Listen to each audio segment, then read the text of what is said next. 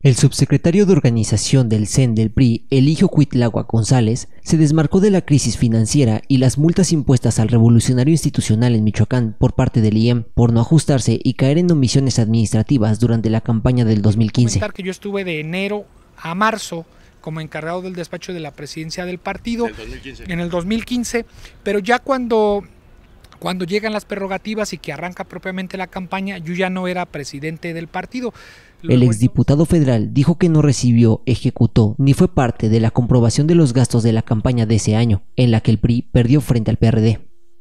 Sin repartir culpas, Eligio Cuitláhuac se dice un priista de manos limpias y le aclara a la militancia que en las cuentas de ese 2015 nada tuve que ver. Yo en la parte que a mí me toca que algunas notas han este, presentado información incorrecta, eh, pues sí decirle a, sobre todo a la militancia que yo no tuve nada que ver en este ejercicio.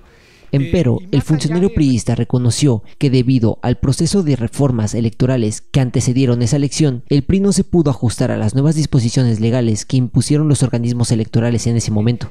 Teníamos unas reglas diferentes, el PRI no se...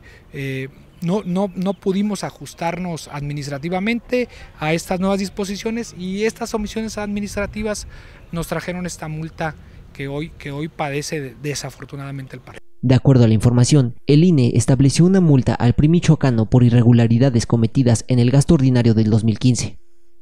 En el fallo emitido por el INE, se comprobó que el PRI incumplió con las reglas legales para recibir 191 aportaciones económicas por el orden de los 3.2 millones de pesos, además de haber rebasado en 3.9 millones de pesos el tope de campaña establecido para el proceso electoral de ese año. Las sanciones impuestas fueron por el equivalente al 150% del monto involucrado, es decir, que 5.9 millones de pesos le serán retenidos de sus prerrogativas al tricolor. En total, al PRI se le quitarán 10.7 millones de pesos de mayo a diciembre del presente año, reducción que lo mantendrá al borde de la quiebra financiera.